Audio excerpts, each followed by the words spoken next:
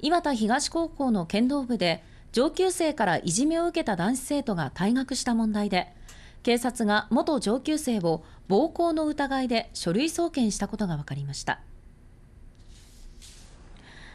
学校への取材によりますと去年秋から冬にかけて岩田東高校剣道部の当時1年生の男子部員が上級生数人から平手打ちされるなどのいじめを受けていたことが確認されています。